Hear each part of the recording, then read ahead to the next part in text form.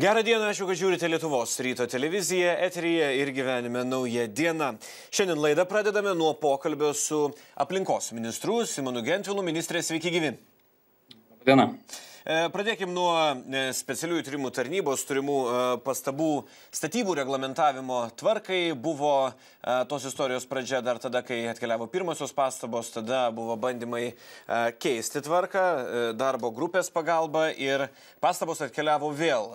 Pažvelkime į istorijos ištakas. Kokia esminė problema statybų sektoriuje čia buvo spręstina? Visų pirma, pastabos buvo dėl Vilniaus savivaldybės statybų leidimų išdavimo tvarkos, kad e, dažnai nuo pamato tiesiog išdygdavo nauja statyba, kuri būdavo pavadinta kaip rekonstrukcija. Tai per, STT peržiūrėjus Vilniaus savivaldybės tvarkas, nu, ėmėmės pakeitimų, apibriežti, kas yra rekonstrukcija, kas nauja statyba ir kad na, nebūtų paslėpimo, taip sakant. Ir išėjome su darbo grupe, darbo grupėje dalyvavo pati STT, savivaldybės ir kiti ir na, radom kompromisą su juo, einame į Seimą. E, tas kompromisas, kaip suprantu, ne iki galo patinka specialiųjų tyrimų tarnybai. Kuo galėtumėt tai aiškinti, kaip reaguotumėt į tas liekančias pastabas? Na, e, man atrodo, yra normalu, kai valstybės institucijos turi skirtingas nuomonės ir STT neturi tiesos monopolio, į jų pastabas atsižvelgiame 90 procentų, bet kas liečia statybinius klausimus, jau kur nebėra skaidrumo arba, arba kažkokio objektivumo reglamentavimas, procedūrų reglamentavimas, bet kur yra grinai statybiniai procesai, technologiniai, inžinieriniai procesai, na, man atrodo, kad čia nu, ne, nepritarimas kai kuriem dalykams nu, yra normalu. Kurioje vietoje čia konkrečiai šiuo atveju dabar e, išsiskiria nuomonės jau po tos darbo grupės veiklos? Na, iš esmės gyventojam kad suprasti tai mes pasakoma kad rekonstrukcija yra tai kas yra rekonstruojamas ar pastato tūris ar pastato aukštis ar pastato plotas. Ir jeigu jis konstru rekonstruojamas iki penkiasdešimties procentų e, buvusio tūrio tai yra rekonstrukcija. Visa kas viršija penkiasdešimt procentų tai jau yra nauja statyba. Tai kitaip tariant nuo pamato atstatyti pastatą tai jau niekada nesivadintų rekonstrukcija. E, na, bet e, STT nori, kad iš esmės kapitalinis remontas būtų e, suvienodintas su rekonstrukcija, o visa kita pavadinta nauja statyba. Čia, čia mes nepritarėm, bet truputį ir pačios STT komunikacija keista, nes per derinimo terminus mums neatsiunčia informacijos, po to platina viešus pranešimus spaudai. Tai truputį nekonstruktyvu, nes mes kaip teisės aktus kurint instituciją, na tikimės, kad visos institucijos, savivaldybių asociacija, architektų rūmai, e, konkurencijos taryba, Europos teisės departamentas nuduos pastabos laiku ir nekomunikuos per žiniasklaidą e, savo pavėluotų pastabų. O kodėl čia atsitiko taip? Dėl vėlavimo ir dėl ko jūsų nuomonė, kad na, šita istorija tokia atrodo, kad kalba tai eina apie detalės, bet žiniasklaidoje įgarsi? Na, man atrodo, kad iš esmės e, STT dėmesys aplinkos ministerijos ryčiai yra labai labai stipriai padidintas. Tai čia kodėl jis padidintas, tai reikia jų pačių klausti, nes e, per metus atliktas 21 antikorupcinis vertinimas ir e, aštuoni net iš jų yra atlikti aplinkos ministerijos ryčiai. E, tai visom kitom ministerijom, savivaldybėm tenka žymiai mažesnis dėmesys ir nu, mes tikrai tai vertinam kaip galimybę tobulėti ir jie turi kompetitingą nuomonę, nu, bet e, ne visais klausimais, ta prasme, jų pastabos yra taiklios ir, ta prasme, ne, nesugebama apginti e, profesionalų diskusijoje, tai ne, ta diskusija yra darbo grupėse ir tarp inžinierių, ir tarp statybininkų, ir tarp vystytojų, ir tarp savivaldybių, architektų rūmų na tai jeigu nesu nepritariama kažkam tai nereiškia kad dar teisės aktas nėra tobulas. Tai mes visi einame taip sakant į darbo grupes dirbame po keletą posėdžių išgryninam dokumentus išeiname su juos į viešus derinimus teikiame seimui. Tai nėra taip kad e, vienos institucijos nuomonė turi būti visada viršesnė negu visų darbo grupių ir profesionalų darbas apibendrindama tą savo išvadą, tai aš kaip suprantu, čia šiuo atveju dar grįžtant prie jo, teigia, kad dar šitas reglamentavimas neužkerta kelio tokiem atvejam, kai e,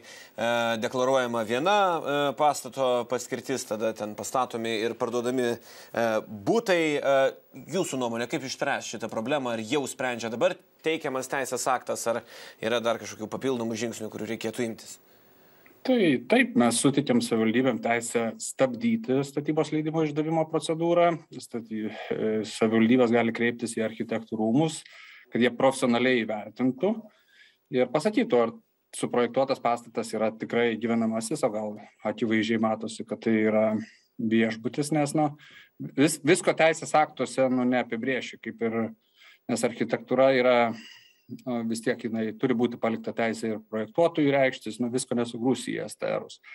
Tai STT požiūris yra, kad viską reikia iki varšto reglamentuoti ir nieko nepalikti interpretacijai. Na, mes pasakome, kad visgi turi būti palikta ir profesionalų e, vertinimui, ir ekspertų vertinimui e, dalis ir todėl, nu, čia tokia diskusija, bet iš esmės tai užčiopta problematika yra teisinga, kad per rekonstrukciją dažnai pralenda nauja statyba, mes ją lopome, dabar išeina vat įstatymas į Seimą, kai kurie sterų pakeitimai bus inicijuoti. Tai man atrodo, na, iš esmės nebeturėsime tų precedentų, bet ir žmonės, ir pirkėjai turi būti atsakingi, ir notarai turi suvokti ir informuoti, nes jie gauna didelius įkainius, kad realiai tai, na, jūs perkate patys žinodami, uh, kad tai nėra gyvenamosios patalpos. Na, automobilį perkant e, paprašome kaimyno arba nuvežame į autoservisą, bet kai jau kažkas perka už dešimtis ar šimtus tūkstančių nekilnojamo turto vienetą, mes apsimetinėjame, kad na, mes e, dabar čia valstybė kraštinė yra. Nu, nu, įjunkime iš tikrųjų kritinį mąstymą ir pasakykime, kad na, jeigu jūs perkate vienbučiame name dalinę nusavybę, ten 20 ar 30 procentų nusavybės, nu, tai jūs perkate namą, kuris nepritaikytas gyventi kelioms šeimoms. Jūs perkate vienos šeimos namą ir e, nu, tikrai ir notarai, ir patys pirkėjai, nu, jie sąmoningai kartais eina į tuos sandorius, o didžioji problema yra savivaldybėms, kaip nu, užkirsti tą išskaidimą. Tai čia mes bandome per reglamentavimą jį užlopyti. Jūs minėjot nemažą dėmesį jūsų ministerijai, valstybės institucijų, tos pačios specialiųjų tyrimų tarnybos. E, kokie yra tie pagrindiniai e, iššūkiai susiję ir su tais vertinimais ir apskritai iššūkiai per e, šitą kadenciją, kuriuos dar reikėtų sutvarkyti, sureglamentuoti, kuriems galbūt galima užbėgti už akių? Tai yra labai daug, na mes, ta prasme, taip pats teritorijų ir statybų procesas yra labai labai svarbus, ta prasme, jis tiek investuotojams, tiek miestams, tiek, tiek patiems gyventojams, tai jis turi maksimaliai objektivus būti ir maksimaliai greitas. Tai mes matome, kai skirtingas savivaldybių tvarkas, tai mes dabar suvienodinam savivaldybių tvarkas, kad e, projektuotojai projektuojantis e, Vilniuje ar Kaune nesiskirtų savivaldybių praktikos, išduodant statybų leidimus mes e, netrukus peržiūrėsim visą žemėtvarkos sistemą, nes iš tikrųjų nacionalinė žemės tarnybos veikla nu, netenkina dabartinės nu, visuomenės poreikių ir standartų valstybinių paslaugų. E, bet eilė ir kitų reglamentavimo sučių pas mums yra, pavyzdžiui, kaip ir poveikio aplinkai vertinimas, nu be galo e, subjektyvi procedūra, yra aibė įvairių veiklų nuo kiaulinkystės ūkių iki vėjo energetikos, nu ir kiekvienam reikia iš, iš tikrųjų pritaikyti maksimaliai tas priemonės, kad nebūtų neįdėmo poveikio nei aplinkiniams kaimynams, nei, nei gamtai. Tai aplinkos ministerijoje tikrai yra labai daug e, procedūrų, kurias mes nu, maksimaliai turim suvienodinti, išgrinti ir padaryti lengvas ir lieknas. Ir čia mes su, su kompetitingom institucijom, tokiom kaip STT ir kitos, nu, dirbame, kaip patobulinti savo procedūras, nes nu, tikrai matome, kad savivaldybėse uh, ar kitur yra, yra tų tokių precedentinių atvejų, kurie, kurie reikalauja pokyčių. Ir paskutinis dalykas - interpeliacijų banga žada opozicija rudens sesijos metu, minimi keletas ministrų, jūs vienas iš minimų. Kaip jūs žiūrite apskritai į šitą gausą bendraje paėmus interpeliacijos iniciatyvų ir konkrečiai galima savo atveju?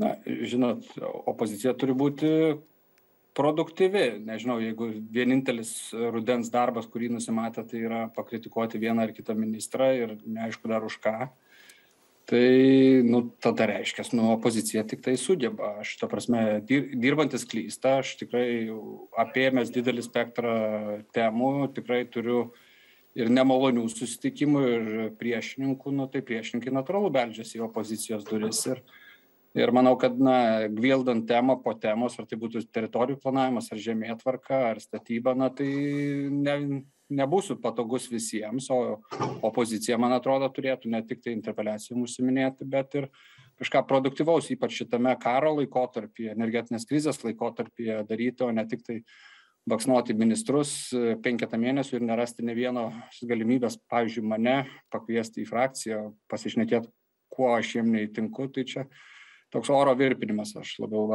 vadinčiau. O pagal ką atsirinkamos kandidatūros tų ministrų, kurias taikomas? Ir jūs turite savo paaiškinimą?